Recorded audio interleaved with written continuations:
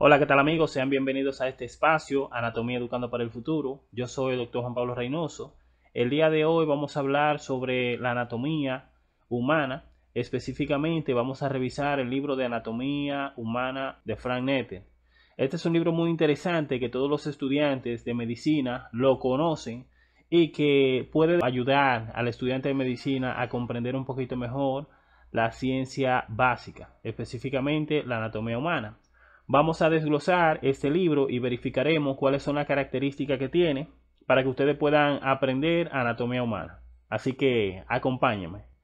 Vamos a verificar acá, jóvenes, el libro de anatomía humana Atla de Nete, que es la quinta edición, y vamos a ver cómo yo voy a darle una clase a todos ustedes. Por ejemplo, vamos a utilizar esta lámina de los músculos masticadores. Este tema muy debatido con el área de anatomía, específicamente anatomía para medicina y la anatomía para odontólogos. Aquí vamos a verificar uno de los músculos más importantes de los masticadores.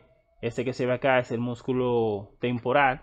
El músculo temporal, este músculo, como su nombre indica, es uno de los músculos que se encuentran ubicados en la línea temporal inferior y a nivel de los huesos del cráneo y se extiende hasta la mandíbula. Aquí vamos a ver las diferentes características. Este músculo presenta diferentes tipos de fibras, tiene fibras verticales, fibras oblicuas y fibras horizontales.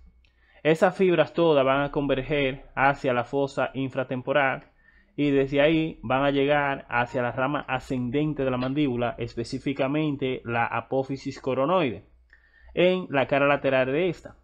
Este músculo, como su nombre lo indica, él va a elevar la mandíbula como acción principal.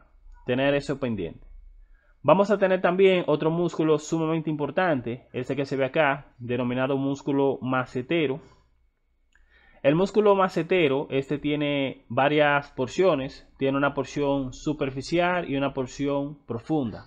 La porción profunda del músculo macetero, esta porción se va a insertar en el tercio posterior y en el borde inferior del arco cigomático. Tengan eso pendiente borde inferior, tercio posterior del arco cigomático. Mientras que la porción superficial, esta que se ve acá, se va a insertar desde el hueso cigomático hasta el tercio anterior del arco cigomático, específicamente borde inferior. Luego desde ahí esas fibras musculares van a converger y terminan en el ángulo de la mandíbula. En esta imagen podemos verlo mejor, la desinserción, desinserción del músculo macetero insertándose a nivel del ángulo de la mandíbula, específicamente en la cara lateral. Vamos a continuar con los próximos videos más adelante. Espero que este video les sirva de mucha ayuda a todos ustedes. El doctor Juan Pablo Reynoso estuvo con ustedes. Continuamos.